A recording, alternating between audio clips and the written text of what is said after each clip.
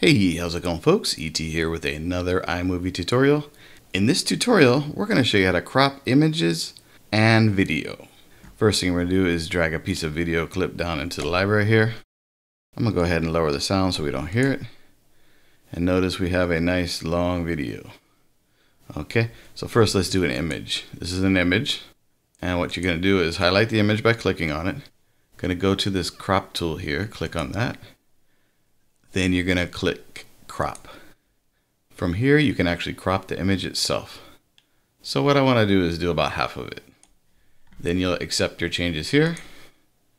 And if you need to, you can actually reset too as well. Let's go ahead and do that. Okay, we'll hit crop again, so let's go ahead and do that. We're going to crop the image. Now from here, we can actually drag it down to our timeline.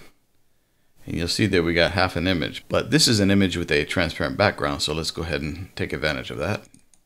Click on it to highlight it. You're to go to your video overlay settings icon here. Hit the drop down to picture in a picture. And now we have our picture in a picture of the transparent image. So what I want to do is put it right on the edge. So now we have a image that was cropped. And you can have it appear by dissolving in or zooming in. Okay, now let me show you how to do it in video form, which is exactly the same. So highlight your video by clicking on it. You're to go over to your cropping tool. You can hit crop, and then you can actually adjust the size as needed. Maybe I only want a little bit here. Okay, we're gonna hit crop.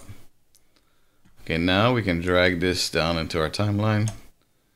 Same thing, we're gonna go ahead and go to picture in a picture.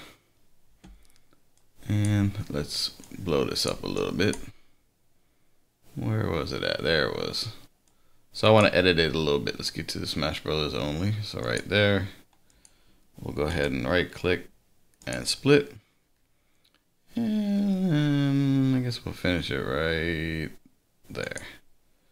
Right click, split. So let's delete this other stuff. And now we have our cropped video. So the way you undo it for both images and video is you highlight the clip itself, go back to that cropping tool, and then hit reset. It's going to bring it back. So let's do it to the image as well. Go over here, hit that cropping tool, and hit reset. So that's how you crop images to unique, non-restrained sizes. Thanks for watching, and we'll catch you in the next one. As usual, peace and aloha.